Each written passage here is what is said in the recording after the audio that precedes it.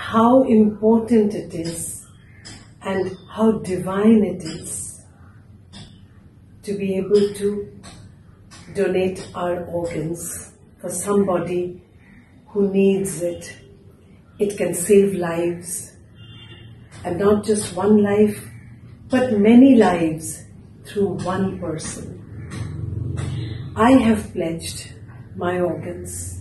Shruti, I thank you for your initiative and I really, really admire you, appreciate you, love you for what you're doing for humanity.